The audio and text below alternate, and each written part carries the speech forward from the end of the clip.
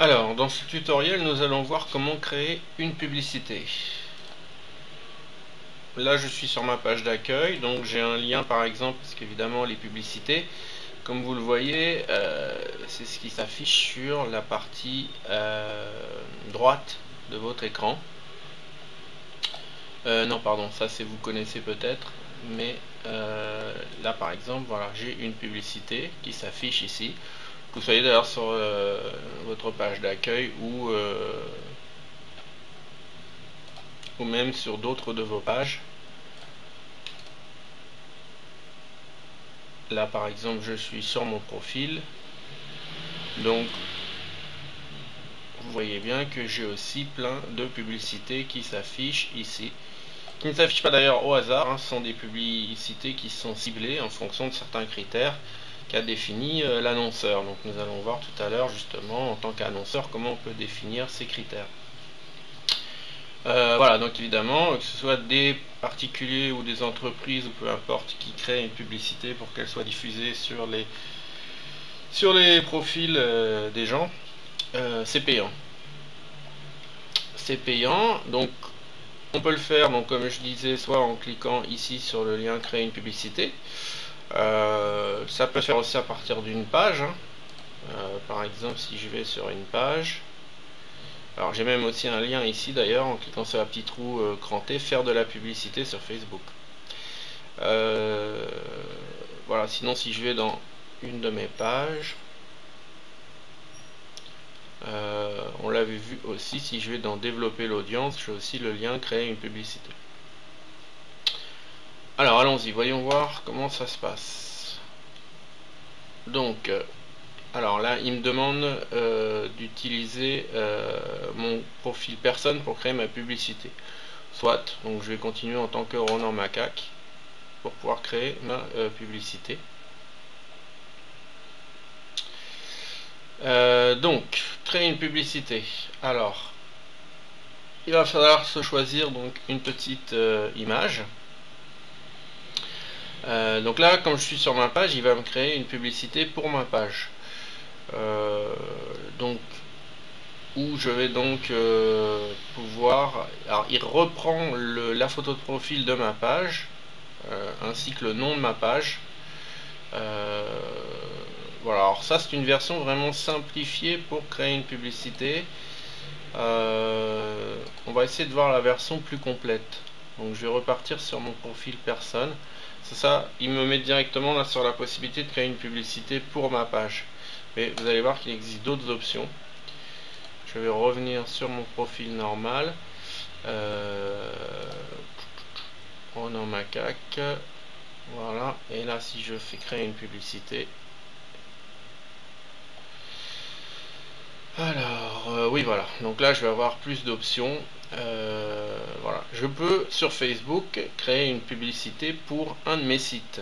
Dans ce cas-là, il faudrait que je mette l'adresse ici du site, par exemple http www. Je mets le nom de domaine de mon site.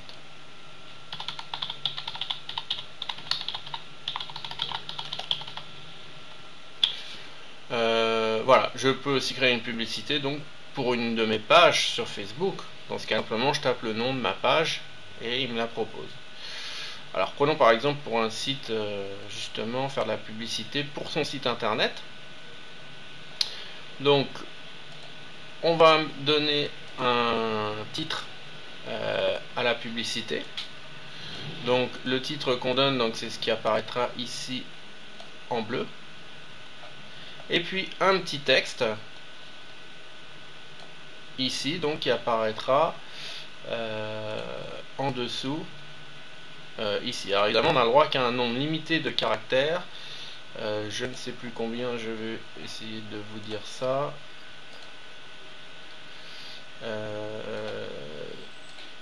là, il me dit que j'ai 17 caractères de restant.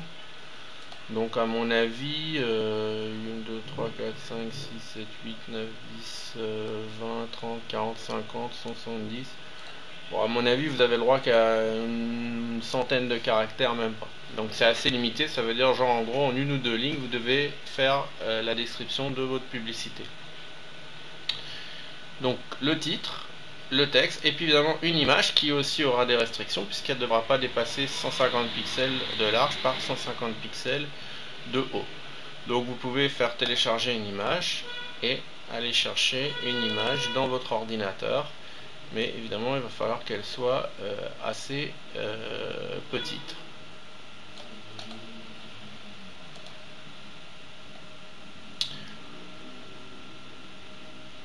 Donc là j'en ai pris une assez grande, mais il me l'a réduit, il est assez intelligent, il me l'a réduit à 154 euh, pixels.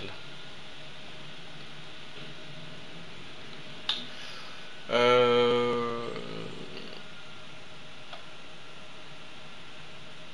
alors, donc là on retrouve effectivement euh, un aperçu donc de ce que ça donne rapport de la colonne de droite, euh, description du lien. Ok. Alors ensuite, une fois que votre publicité est créée, donc vous avez fait votre petite image, votre titre et votre texte, un peu plus bas, vous allez choisir euh, à qui vous voulez la diffuser. Euh, donc, vous pouvez en fait faire des restrictions restriction par exemple par lieu. Euh, donc euh, définir uniquement certains pays ou certaines villes. Sinon, évidemment, vous ne mettez rien et euh, vous ne faites pas de restriction. restriction ensuite par âge ou par sexe. diffuser la publicité que au plus de 18 ans, etc. Euh, vous pouvez aussi faire un maximum, donc une tranche d'âge, les 20, euh, 30 ans, etc. Uniquement les hommes, uniquement les femmes ou tout le monde. Ou aussi filtrer par rapport à un intérêt précis. Donc vous mettez un mot-clé, par exemple, euh, équitation, voilà, si vous voulez faire de la publicité pour votre centre d'équitation, j'en sais rien. Voilà, par rapport aussi à, euh, euh, ce que vont aimer euh, les gens par rapport à leur centre d'intérêt. Vous voyez, par exemple, s'ils aiment voilà, les autos, etc. donc vous pouvez comme ça faire des filtrages aussi par rapport à des centres d'intérêt, cinéma, etc. Bollywood, classic movie, bon. Alors, euh,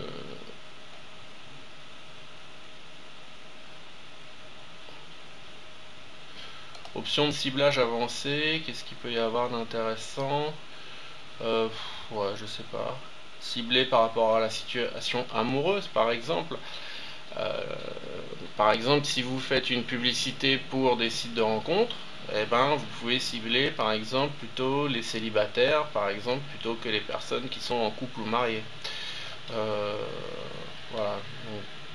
possibilité de cibler par rapport à la situation euh, amoureuse des gens, par rapport à la langue que parlent les gens, euh, leur formation, bon ça je sais pas c'est très intéressant, ou leur lieu de travail. on va masquer les options de ciblage avancées. Voilà. Ensuite, une fois que vous avez ciblé votre public, il reste une dernière chose à faire, c'est de déterminer euh, les tarifs euh, de votre campagne. Donc déjà, la devise dans laquelle vous allez payer, par exemple l'euro, euh, le pays où est votre compte, donc là ici ça serait France,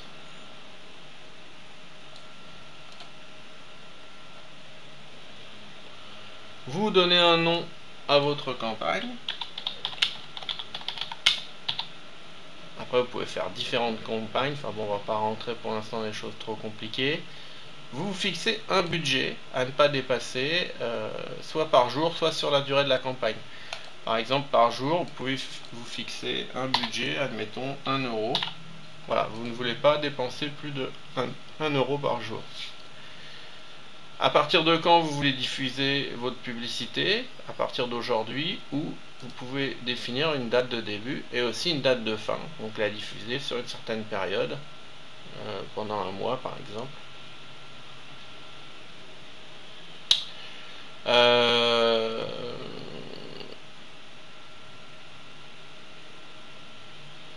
et enfin en dernier, ce qui va être intéressant, c'est euh, les, modes de diffusion, on pourrait dire.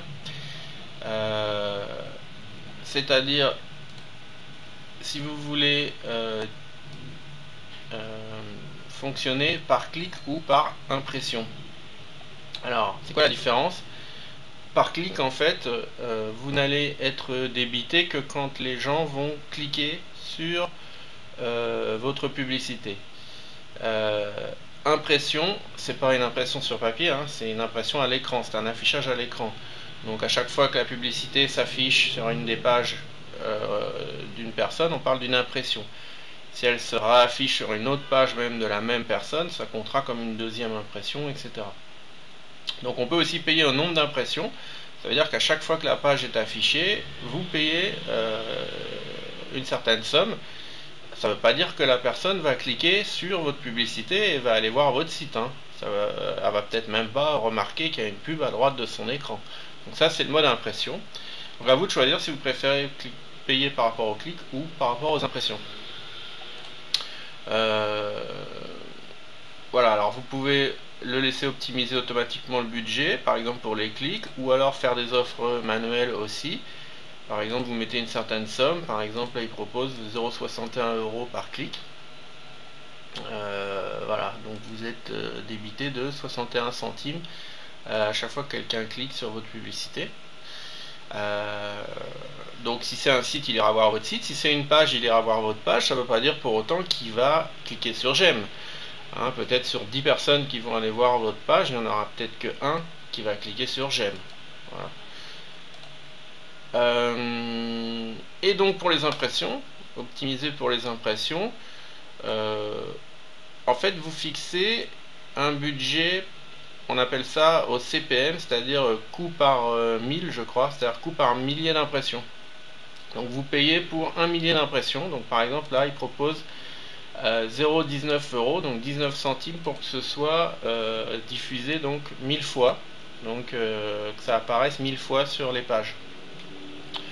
Euh, voilà, sachant que voilà, si c'est diffusé 1000 fois, il y en aura peut-être que 10 qui vont cliquer, voilà, puis si c'est une page, il y en aura peut-être que un qui aimera la page, et encore même pas, je dirais c'est plutôt d'ordre de pour un j'aime pour 10 000 impressions, je dirais plutôt, et encore.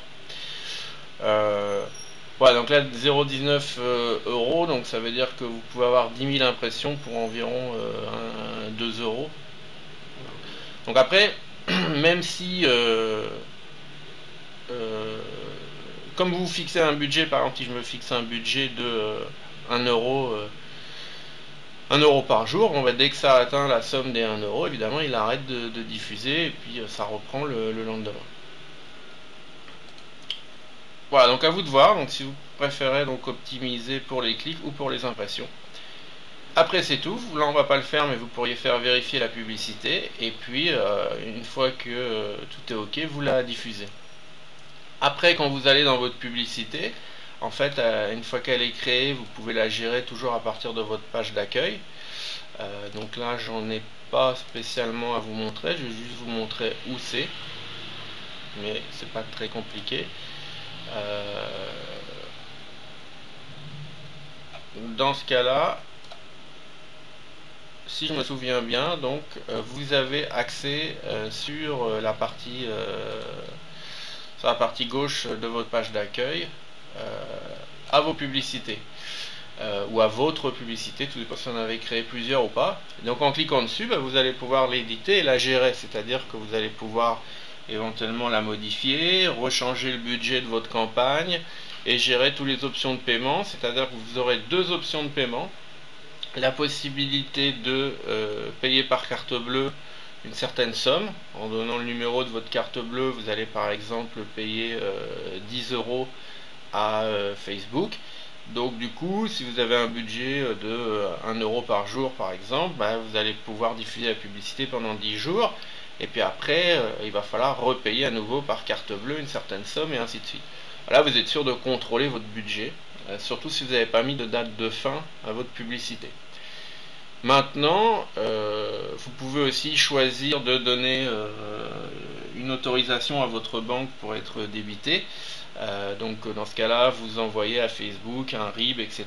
il vous explique la démarche à suivre. Et après, vous pouvez être prélevé automatiquement de la somme euh, euh, de, votre compte. Alors vous n'êtes pas prélevé de 1 euro tous les jours, vous êtes prélevé tous les temps de temps euh, d'une certaine somme. Voilà, mais à vous dans ce cas de gérer effectivement bien votre budget par jour, la limite de votre budget par jour, et de fixer aussi des fois la date de fin de votre campagne publicitaire. Voilà, c'est pas très compliqué, vous verrez que vous pouvez gérer ça facilement dans l'interface de votre publicité, donc vous accéderez ici à partir de la partie gauche. Voilà, donc euh, je vous dis euh, à bientôt pour un prochain tutoriel.